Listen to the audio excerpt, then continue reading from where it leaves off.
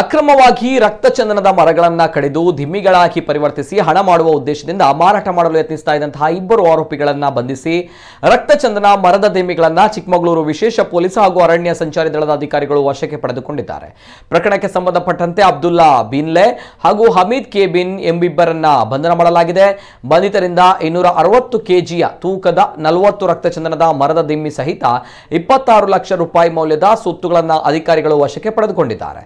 ದಕ್ಷಿಣ ಕನ್ನಡ ಜಿಲ್ಲೆ ಸುಳ್ಯ ತಾಲೂಕು ಬಾಳ್ತಿಲ ಗ್ರಾಮದ ನಿವಾಸಿ ಆರೋಪಿ ಅಬ್ದುಲ್ಲಾ ಬಿನ್ಲೆ ಹಸನ್ ಕೂಡ ಶೆಡ್ನಲ್ಲಿ ಅಕ್ರಮವಾಗಿ ರಕ್ತಚಂದನದ ಮರಗಳನ್ನು ಕಡಿದು ದಿಮ್ಮಿಗಳಾಗಿ ಪರಿವರ್ತಿಸಿ ಹಣ ಮಾಡುವ ಉದ್ದೇಶದಿಂದ ಮಾರಾಟ ಮಾಡಲು ಪ್ರಯತ್ನಿಸ್ತಾ ಇದ್ದಂತಹ ಹಿನ್ನೆಲೆ ಈ ದಾಳಿ ನಡೆಸಲಾಗಿದ್ದು ಎಂಬ ಮಾಹಿತಿ ಲಭ್ಯವಾಗಿದೆ.